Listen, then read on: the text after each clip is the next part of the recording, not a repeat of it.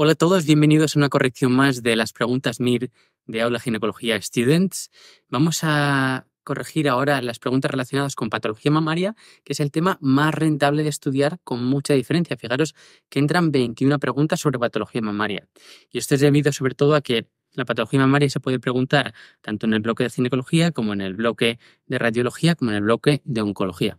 Pero bueno, es verdad que estudiándonos este, este tema, pues vamos a responder muchas preguntas. Y de lo que más nos preguntan es, lógicamente, del cáncer de mama, pero también de la detección precoz del cáncer de mama.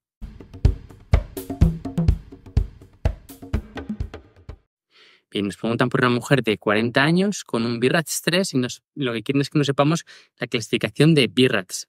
Recordad que BIRATS 1 es eh, sin hallazgos, BIRATS 2 es hallazgos muy probablemente benignos o benignos, BIRATS 3 todavía es hallazgos probablemente benignos. Lo que hay que hacer es un seguimiento cada seis meses durante dos años. Por lo tanto, la respuesta 3 es la correcta. La probabilidad de cáncer es de menos de un 2% y por lo tanto se hace un seguimiento cada 6-12 meses durante dos años. O en caso de duda se puede hacer una biopsia y en ese caso ya no necesitamos hacer un seguimiento.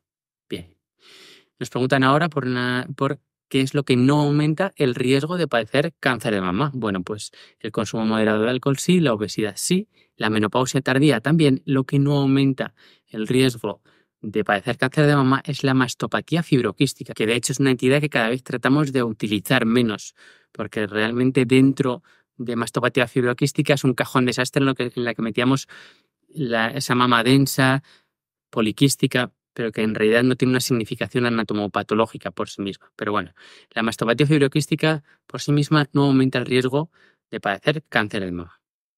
Bien, nos preguntan por una mujer de 65 años a la que le han hecho una cirugía conservadora de la mama y tenía un carcinoma ductal infiltrante, que los ganglios son negativos y que los receptores de estrógenos de progesterona son negativos. Además, el ER2 es negativo también. Nos están hablando de un basal-like o un triple negativo. ¿Y cómo vamos a tratar estos tumores triple negativos? Bueno, pues el tratamiento hormonal no tiene sentido, ni el tamoxifeno ni los inhibidores de la aromatasa van a ser efectivos porque no tiene receptores ni de estrógenos ni de progesterona.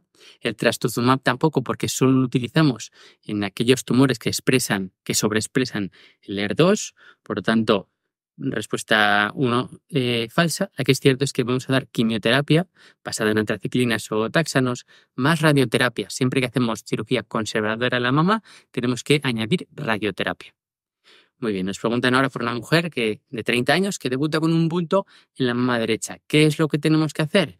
Bueno, pues en mujeres menores de 35 años en general, los radiólogos suelen preferir la ecografía sobre la mamografía. Aunque esto es un criterio del radiólogo. Si la mama es muy densa, suele preferir hacer ecografía y si la mama es menos densa, suele preferir hacer em, mamografía. Bien, y esta es una pregunta muy típica. Nos preguntan por qué tumores están aumentados en los pacientes que son portadores de la mutación del BRCA2 y son los tumores de mama y de ovario, igual que con los tumores que con las mutaciones de BRCA1. Lo que pasa es que en distinta proporción, ¿vale? Tanto BRCA2 como BRCA1 tienen aumentado el riesgo de cáncer de mama y de ovario. Bien, nos preguntan ahora por esta imagen, en la que probablemente si no somos radiólogos expertos, probablemente no hay visto nada, pero además nos dicen que la mujer tiene fiebre, dolor, eritema, calor hinchazón. Probablemente no estén hablando de una infección. ¿Y qué es lo que tenemos que hacer si tiene una infección? Pues tratamiento antibiótico y seguimiento clínico para ver si mejora. Bien, nos preguntan ahora otra vez por el tumor basal-like, es decir, el triple negativo. ¿Y por qué se caracteriza el triple negativo? Pues por ausencia de receptores hormonales y negatividad para el ER2. Muy bien. Nos preguntan ahora por una paciente con un carcinoma ductal infiltrante, T2, con receptores de estrógeno y progesterona positivos, esta vez sí, con un Ki67 al 25% y un ER2 negativo. Nos, están preguntando probablemente por un tipo luminal A o luminal B y además nos dice que tiene un ganglio positivo. ¿Cuál es el tratamiento? Pues lógicamente trastuzumab no, ya lo hemos explicado, porque el ER2 es negativo. Y en este caso daremos quimioterapia ayudante porque el tumor ya ha metastatizado al, a la axila preferentemente otra vez una traciclina de taxanos y seguido de hormonoterapia, porque expresa receptores de estrógenos y de progesterona. Bien. Nos preguntan por una paciente que ha sufrido un carcinoma, le han hecho una exéresis de la lesión y se ve que tiene un tumor de 6 milímetros con receptores de estrógenos y de progesterona al 100%, un Ki67 bajo y un ER2 negativo. Este sí es un luminal, probablemente un luminal A, y que tiene bordes quirúrgicos libres. ¿Qué es lo que tendremos que hacer? Bueno, como hemos hecho una cirugía conservadora, seguro que vamos a tener que dar radioterapia. Además, como tiene receptores positivos, muy probablemente vayamos a tener que dar también hormonoterapia. Sin embargo, ¿qué tenemos que hacer antes de todo eso? Pues asegurarnos de que los ganglios no están afectados, los ganglios de la axila no están afectados. Por lo tanto, lo primero que vamos a tener que hacer es una biopsia selectiva del ganglio centinela para ver si vamos a tener un tumor metastásico o no y qué tratamiento vamos a tener que dar. Así que es verdad que la respuesta 2 podría ser parcialmente correcta, pero antes de nada tenemos que hacer una biopsia del ganglio centinela. Bueno, ¿y qué es falso sobre el cáncer de mama hereditario? Bueno, pues como siempre, las opciones que ponga puede, pues como en medicina todo puede, pues va a ser verdadera. ¿Qué es falso sobre el cáncer de mama hereditario? Pues que las alteraciones genéticas conocidas causantes del cáncer de mama suelen tener un patrón de herencia autosómico dominante, no autosómico recesivo. Por tanto, respuesta 3, falso. Bien, nos preguntan ahora por un chico de 18 años que tiene un nódulo en la mama retroareolar y que le duele la palpación. ¿Cuál es la causa más frecuente? Pues en estos chicos, alrededor de la adolescencia, lo más frecuente es que tengan una ginecomastia puberal. Al final, por estas alteraciones o estos desbalances hormonales típicos de la, típicos de la adolescencia, pues puede aparecer una pequeña ginecomastia que normalmente es transitoria. ¿Y qué es cierto del tratamiento coadyuvante tras la cirugía del cáncer de mama? Bueno, pues que el tamoxifeno es útil tanto en pre como en posmenopáusicas. Sin embargo, es cierto que en mujeres posmenopáusicas tendemos a utilizar inhibidores de la aromatasa porque quizá tenga un perfil de efectos secundarios un poquito mejor. ¿vale? En premenopáusicas no podemos utilizar estos inhibidores de la aromatasa porque no van a ser eficaces. Por lo tanto, en premenopáusicas vamos a utilizar casi obligatoriamente el tamoxifeno o el raloxifeno y en posmenopáusicas, pues nos sirven los dos, aunque solemos utilizar los inhibidores de la aromatasa. Pero el tamoxifeno también podría ser útil. ¿Qué es falso sobre el cáncer de mama? Bueno, pues todas son verdaderas, salvo que la presencia de adenopatías contraindique la cirugía de la mama. De hecho, muchas veces, ante la presencia de adenopatías, lo que hacemos es una linfadenectomía para quitar esas adenopatías, pero si el tumor es resecable, muchas veces lo asociamos con una mastectomía o incluso si el tumor es pequeñito, lo podemos asociar con una cuadrantectomía o una tumorectomía asociado a radioterapia. Por lo tanto, es completamente falso que porque haya tumor, porque haya tumor en la axila tengamos, no podamos hacer cirugía sobre la mama. Bien, esta pregunta es muy difícil. ¿Qué gen se asocia con mayor frecuencia a mutaciones adquiridas en el cáncer de mama? Y tú instintivamente vas a responder BRCA1 o BRCA2, pero estas mutaciones, primero, no son las más frecuentes y segundo, no son adquiridas, son, son congénitas. La mutación adquirida que más frecuentemente se asocia al cáncer de mama es una mutación del gen P53. Pregunta muy complicada porque es de las que llamamos lobos con piel de cordero. Nos parece una pregunta más o menos fácil, pero no lo es para nada. Y nos preguntan por la única contraindicación del tratamiento quirúrgico conservador en el cáncer de mama. Pues bueno, ya hemos dicho antes que la metástasis axilar no es una contraindicación. A veces, aunque haya ganglios afectados, podemos hacer cirugía conservadora. El tumor multifocal, si la mama es suficientemente grande, tampoco es una contraindicación. El embarazo tampoco es una contraindicación. Lo que sí que es una contraindicación es la radioterapia previa, porque estas mamas no van a poder recibir después otra vez radioterapia que es lo que asociamos siempre que hacemos cirugía conservadora sobre la mama. Así que respuesta 1, eh, incorrecta, es la única contraindicación. Bien, nos preguntan por esta imagen en la que lo normal es no ver nada.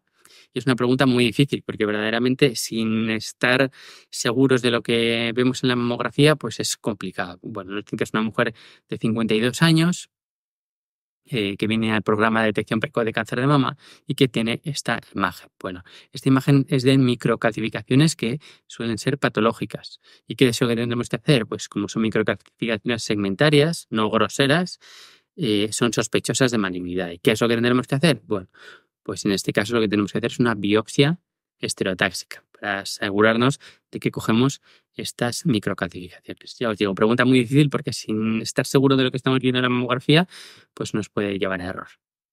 Bien, nos preguntan por una mujer de 42 años que tiene implantes mamarios y consulta por un tumor palpable en los cuadrantes internos de la mama derecha.